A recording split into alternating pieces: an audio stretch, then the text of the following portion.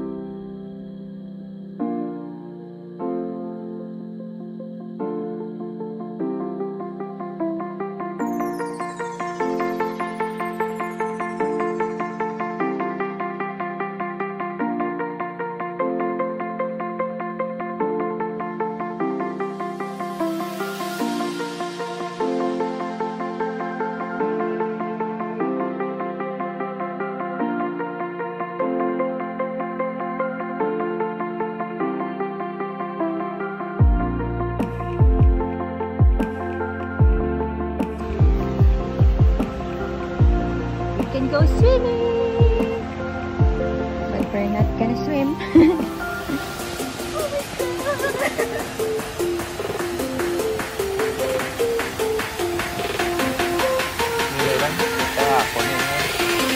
Pang-hike ng sapatos.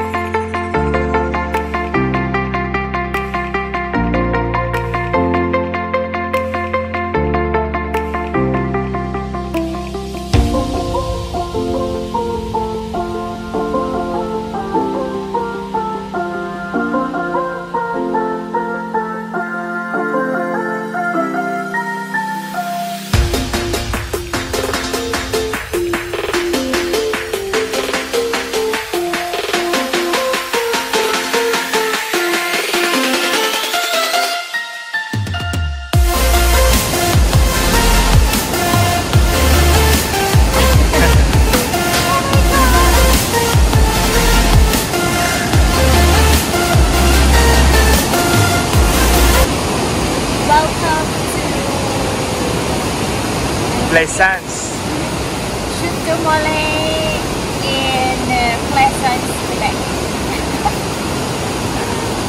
uh, excuse my friend.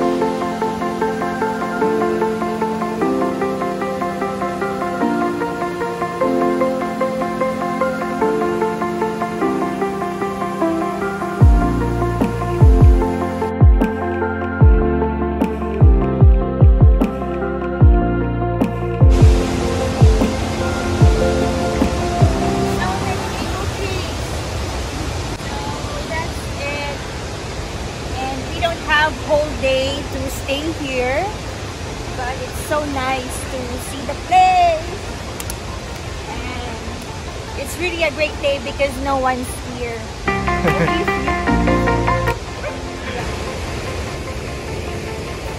So I'm guessing it's always crowded because of the number of picnic tables. But because of the pandemic, no one's here.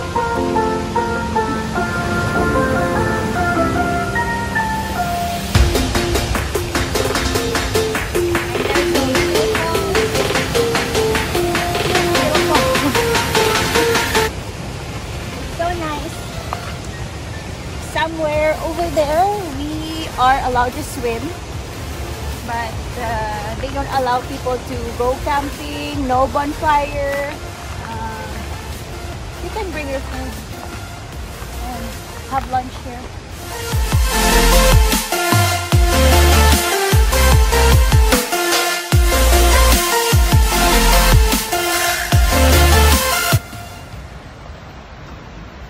As you can see this sign, it says no camping, no RVs allowed, no bonfires, and you're not allowed to have like canned goods in here, but you are only allowed to swim.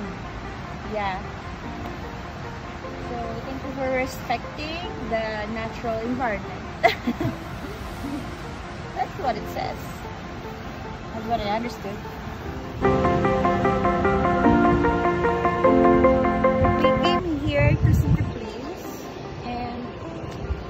Could have brought our swimwear. so we can, you know, have a dip in the water. Okay, more exploring. Exploring. Sorry. Yeah. Advice lang, you need to watch your step. watch your step. If you love nature and you like like uh, easy hike lang, flat lang man, hindi gamay-gamay lang ah. Ay, putay ka din pa. See? I told you. Watch your step.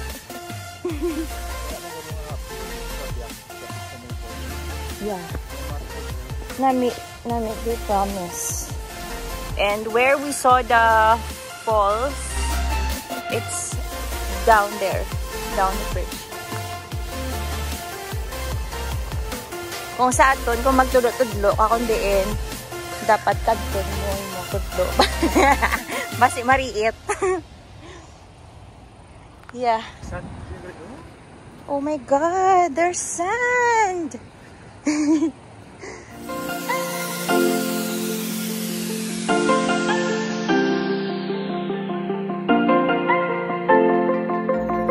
See, it's so beautiful. And on a weather like this, it feels good to have a dip in the very cold water.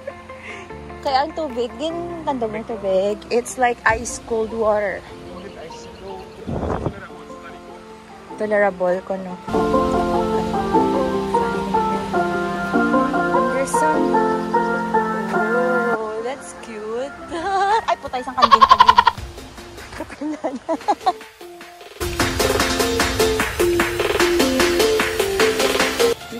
brought our swimsuits and swimwear. Yeah. So we're going back to the car now because it's really Hot. hot day. Very. Hapon go daw. Nami ara. eh. Tapos may nag-sunbathing to. Nami, because, eh, if we only knew, we could have brought our swimsuits. First time. Sige lang, at least now we know.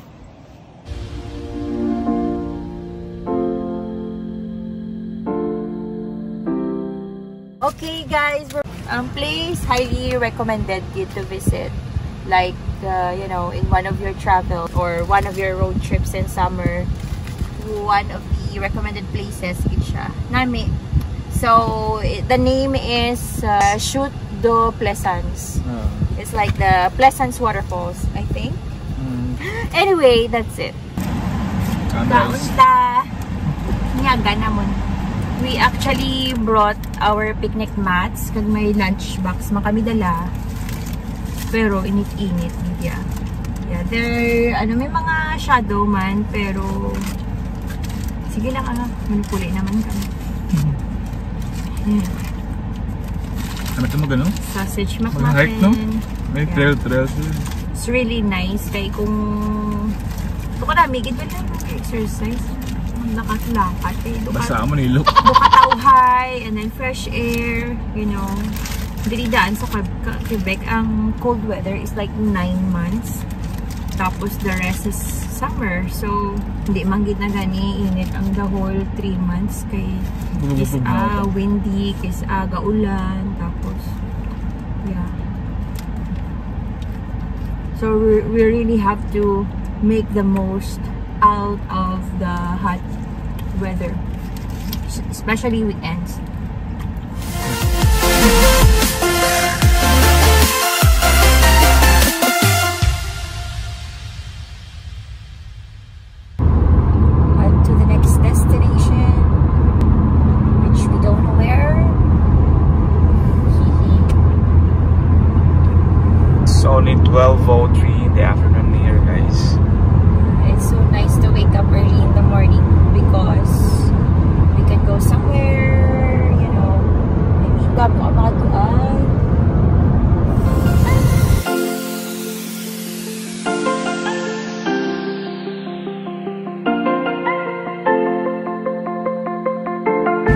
May nag-aya naman na kaibigan.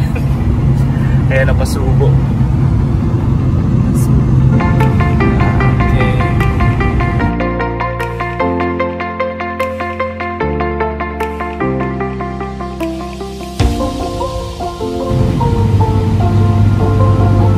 There's always a light after the tunnel.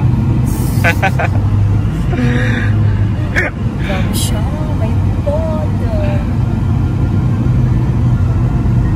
Another tunnel.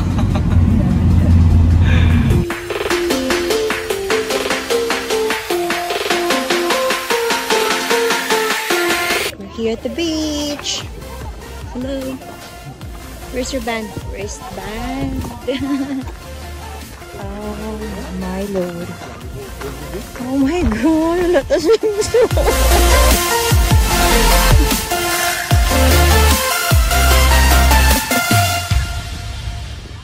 guys, di po kami nakapaghanda. Hindi namin alam. Pupunta pala kami sa beach. Kung alam lang namin, di kami nagdamit. oh my goodness. Hi guys! Welcome to our vlog! Hello! guys, the best talaga yung view namin as in. Woo! Diba? Oh. Kitang-kita lahat. Hindi, ayaw. Hindi. Kailangan kasing tumayo. Hello, hello. Mainit, pero ang tubig malamig.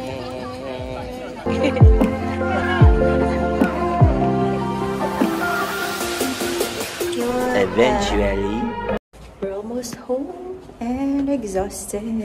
It was a very long day. A happy long day. What can you say? Thanks God we're safely home. Yeah, thanks God we're have home. a very good rest today. Thank you. See you in the next video. Next time naman. Bye!